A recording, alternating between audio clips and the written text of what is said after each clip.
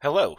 In this video, I'm going to demonstrate how using Omron's new NXR series EtherCAT IO-Link master, I can quickly and easily configure IO-Link devices without the use of separate software. To accomplish this, I will use a custom module that automates the CAN over EtherCAT protocol and allows me to read and write specific IO-Link indexes.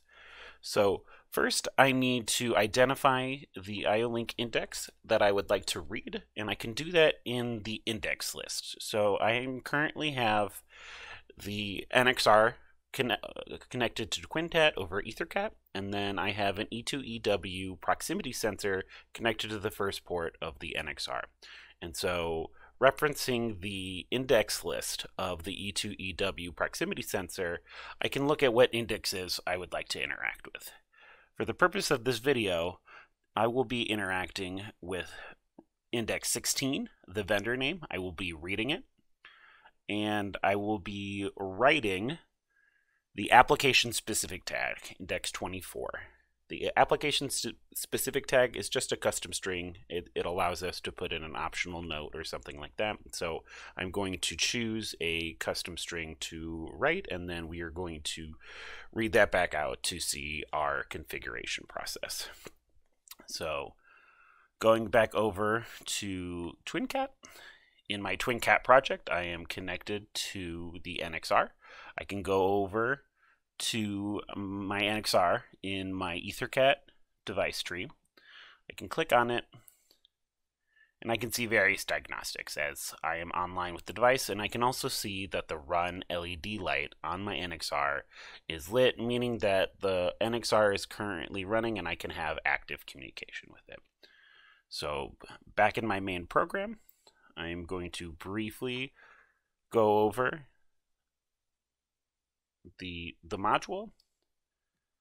So the first input will start the process that will allow us to either read or write a to the NXR, to the E2EW. Um, this net ID is a TwinCat ID that comes from the routes that can be found in TwinCat. This will be the EtherCAT address of the NXR. This is my first uh, device on the NXR, or sorry, on the EtherCAT network. I am connected to the, the first port, and then these next several parameters will be the ones that I'll be changing in order to interact with. So this one will determine whether or not I am reading or writing. This is the, my IO-Link index. Here is my sub-index, and then if I'm writing, I'll need to set what write length that I'll be doing. And then timeout and sequence number will stay consistent. Um, and so this module will let me know if it's currently active, currently uh, communicating with the NXR over COE. It'll then let you let me know when it's done. Uh, and any sort of error state, as well as I will see the control state of what step it's in during the process. Um, so first, I'm going to read index 16, which was the the vendor name. So we go over here. Change this to read.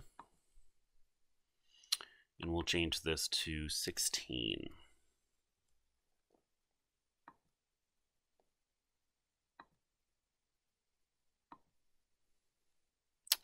Now we'll come over to execute. To execute this read.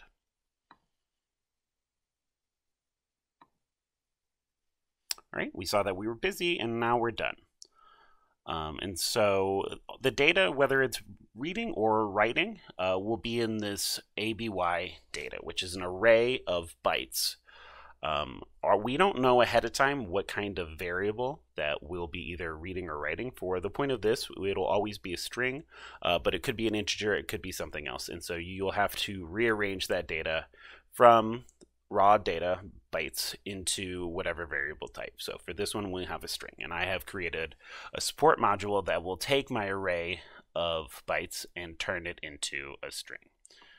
So that's what we're going to do.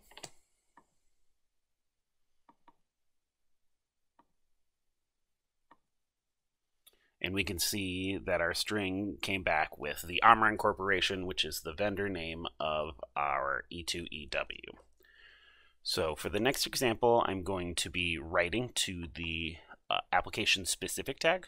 which again is just a custom string, and so I'm going to set it myself. And so again, in order to write this data, I need it into raw data or bytes. And so I have another support module that I can use that will turn uh, my string, my custom string, into a raw data. And so I'm going to choose Omron does IO link. And that's 15 characters long.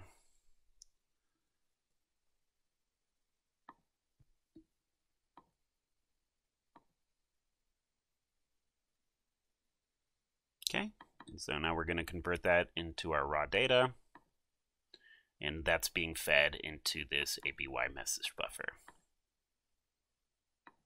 So this, this string has now been converted into an array of bytes and then fed into the block. So now we're going to write.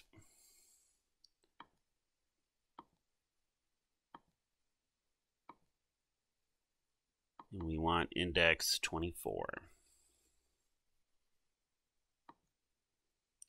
And just to verify, we'll take a look at what the length is, and we can see that our length is 32 bytes. And so that matches with our module.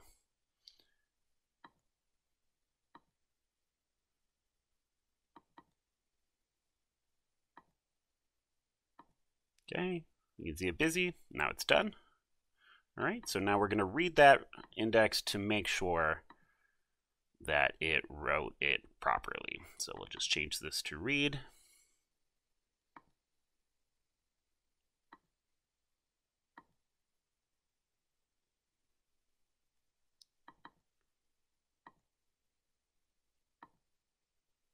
Okay, now we're done reading.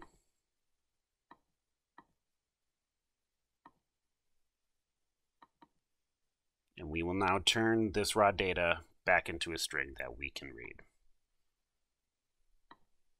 And we can see Omron does IO link. Using these steps, you yourself can easily and quickly configure this module and any sort of IO link device using the NXR over EtherCAT. Uh, a guide has been created to walk through this more step by step and show you how to do this, but this video is just showing how quick and easy it is to parameterize these devices.